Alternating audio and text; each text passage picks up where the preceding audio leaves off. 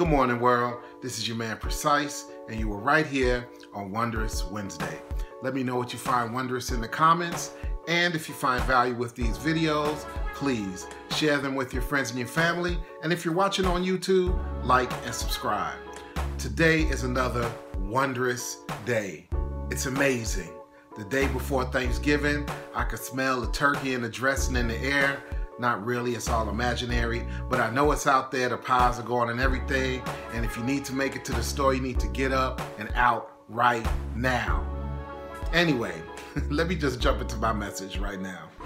Um, you know, I just updated my vision board a few days ago. And the main one of the reasons that I did it was because I have a vision for this property, right? And had an address and pictures of the property that I thought uh, that I thought it was, and it was the wrong address. Uh, so I got the right address and went and got the right pictures, and then updated my my uh, vision board. Now, the reason why I'm talking about this is because, you know, I know this is an exercise. The vision board is an exercise for us to visualize these things and these situations that we want to be placed in, and it first starts in our mind.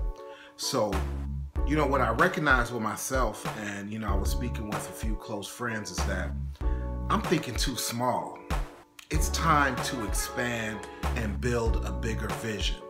So, what happens is that I know that we can sometimes have a limited view about what we can accomplish. However, the one thing that we have to remember is that we are connected to the Creator.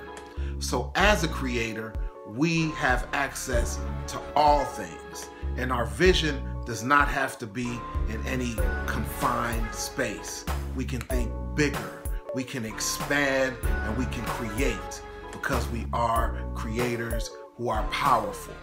So, this is what I challenge you to do today. The idea and the vision that you had last night to create, make it bigger. Make it 10 times bigger than what you thought of. And I guarantee it will appear even bigger than that. Again, let's expand our thoughts and our visions.